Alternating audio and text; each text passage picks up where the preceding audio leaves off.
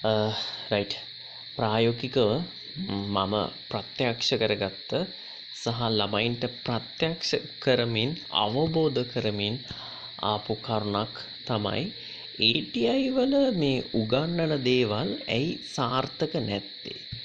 දැන් ATI එකේ ඒ teaching එකට ලෙක්චරින් එකට භාවිතා කරන්නේ අර සිලබස් එකේ තියෙන එක අමු අමුවට රෝ 100% රෝ අමු අමුවට මේ සිලබස් එකේ තියෙන එක එහෙම් පිටින්ම දිගාරිනවා ළමයට. එහෙම වීමෙන් මොකක්ද වෙන්නේ?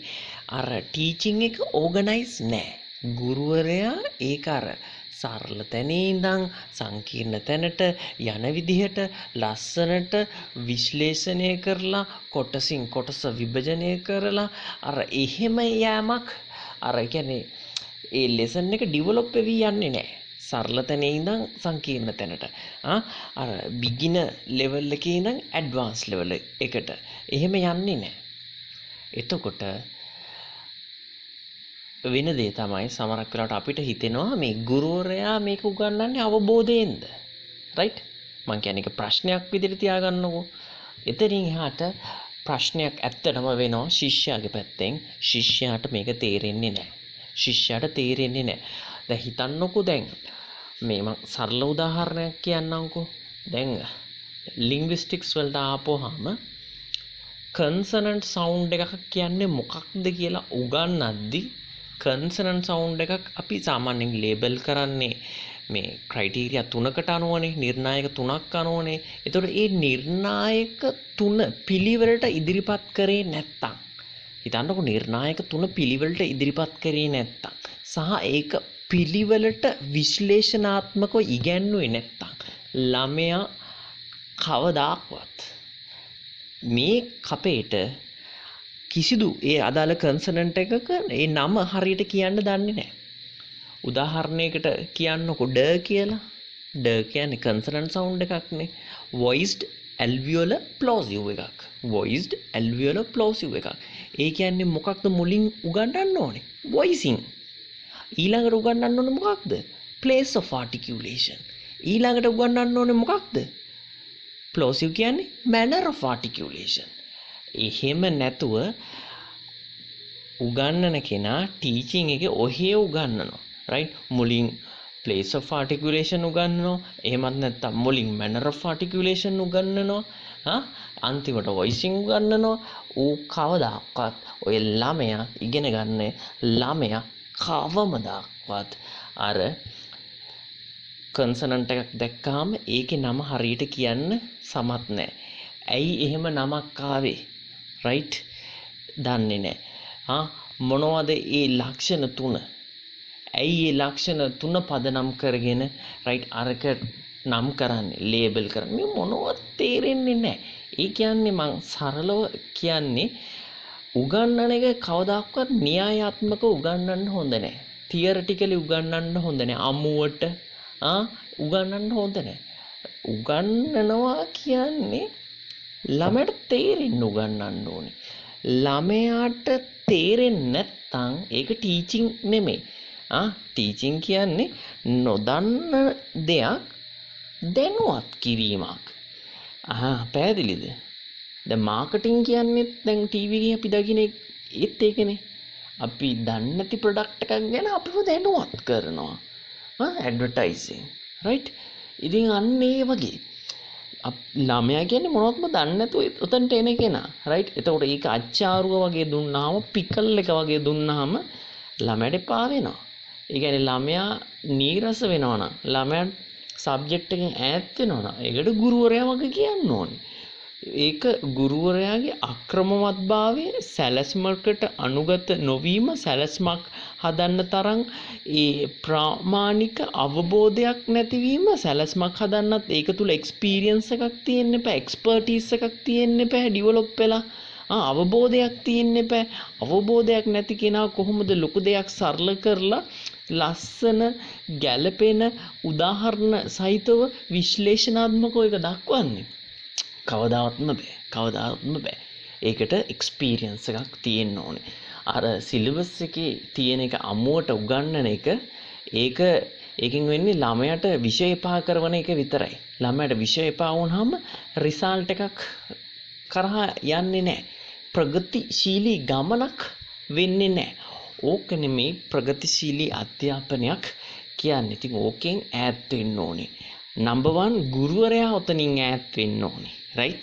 අමුවට සිලබස් එක දිග හරින එක. ඕකෙන් ඉවත් වෙන්න ඕනේ. රයිට්? ඊට පස්සේ නම්බර් 2 ශිෂ්‍යයා පවා පැහැදිලිද තියරි පොත්ත පුරවනවා කියන එක නෙමෙයි. පොත්ත පුරවන එකකින් ඈත් වෙලා රයිට් පුරව ගන්න ඕනේ ඔළුව. ඒ කියන්නේ කොයිම වෙලාවකවත් ඔළුවට දාන්න එපා ඉන්ෆර්මේෂන් එකක් කටපාඩම් කරලා. O level A level pass වෙන්න ඇති ඒ විදිහට. හැබැයි කවදාවත් උසස් අධ්‍යාපනයක් කරගන්න බෑ. රයිට් ඔයාට අර සින්තසිස් කියන ලෙවල් එකට නොලෙජ් ලෙවල් එකට කවදාවත් අර අලුත්ම දෙයක් ඔයාම හිතන දෙයක් කරන කියන තැනට එන්න බෑ. එතනට එන්න නම් අවබෝධයෙන් අවබෝධ කරගත්ත දෙයක් විතරයි ඔළුවටම දාගන්න ඕනේ රෙජිස්ටර් කරගන්න ඕනේ. දැන් ඔය පොත් පුරවන එක එකේ ඉඳන් 13 දක්වා පොත් පිරෙව්වා. පොතේ දැනුම පුරවනවා කියන්නේ ආ නොලෙජ් එක කියන්නේ වෙල්ත් එකක් ධනය. හැබැයි ওই ධනය පොතේ පිරෙව්වොත් මොකද වෙන්නේ? අනිවා තේරුම් ගන්න දැනුම පොතේ පුරවනවා කියන්නේ ඒක වත්කමක් තමයි. හැබැයි ඒක ස්ථාවර වත්කමක්. ස්ථාවර වත්කමක්. ෆික්ස්ඩ් ඇසෙට් එකක්. ඇයි ඒක එක්සෑම් එකට ගෙනියන්න බෑනේ. විභාගෙට ගෙනියන්න බෑනේ. පොත බලාගෙන ලියන්න දෙන්නේ නෑනේ. එහෙනම් විභාගයට ඔයාට උපයෝගී වෙන්නේ මොකක් විතරයිද? පුතේ ඔයාට විභාගයට උපයෝගී වෙන්නේ කරන්ට් ඇසෙට් එකක්. ජංගම වත්කමක් විභාගයට ගෙනියන්න පුළුවන් දැනුමක් විභාගයට දැනුම ගෙනියන්න පුළුවන් කෝකේ දාගෙනද සාක්කුව ඇතුලේ ඥානපටි නැහැ පැහැදිලිද ඔළුවේ දාගත්ත දෙයක් අවබෝධ කරගත්ත දෙයක්.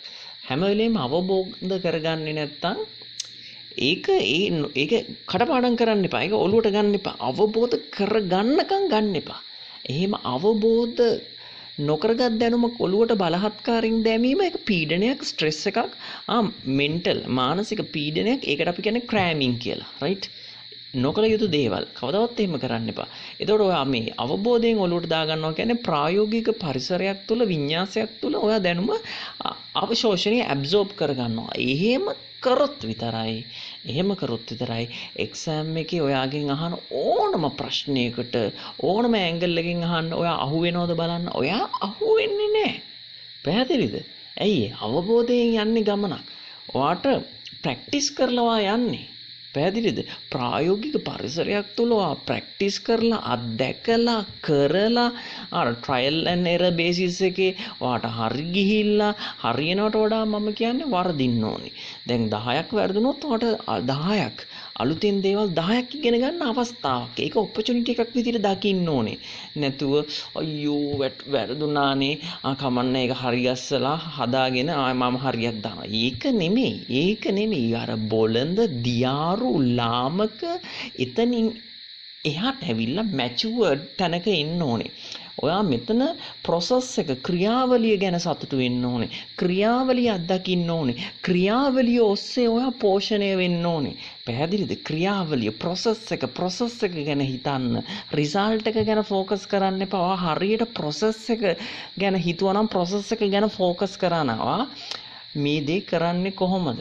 ඒ දන්නකො ගණිතයක් ගානක් හදන එකක් ඔයාට පුළුවන් පැහැදිලිද ඒකට එක්ක ඉන්වෝල් වෙන්නේ නැතුව රයිට් එහා බංකු එක කරනවා නම් ඌගේ හරි උත්තරේ කොපි කරගන්න රයිට් හැබැයි එහෙම කරා කියලා ඔයා ඒක ඉගෙනගෙනද? නෑ. ඔය ඒක ඇබ්සෝබ් කරගෙනද නෑ. ඒක ඔයා දැනගෙනද නෑ. ඒක ඔයාට අවබෝධ වෙලාද නෑ.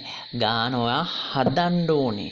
ඔයාට අවබෝධ වෙනකන් හදන්න ඕනේ. ඒකට නිවැරදි මාර්ගෝපදේශකත්වයක් ඕනේ. ඒකට පිළිපදිය යුතු ටෙක්නික්ස් තියෙන්න පුළුවන් කෙටි ක්‍රම තියෙන්න පුළුවන් රහස් තියෙන්න පුළුවන්. ඒ දේවල් දැනගන්න ඕනේ. දන්නේ නැත්තම් දැනගන්න ඕනේ. දැනුම ඔයා ළඟ නැත්තම් ඒක සොයාගෙන යන්න ඕනේ. ඒක ඔයාට හම්බ වෙයි පැහැදිලිද හොයාගෙන යද්දි හම්බ වෙනවා. එක්ක පන්තියකට හරි මොකක් හරි. හැබැයි ඔය මොකට ගියත් වැඩක් නෑ. රයිට් ඒ ලබාගත්ත දේ ඔයා සතු කරගන්න ඕනි. ඒ දැනුම ඔයා සතු කරගන්නේ කොහොමද? පුහුණුව තුල ප්‍රැක්ටිස් එක තුල.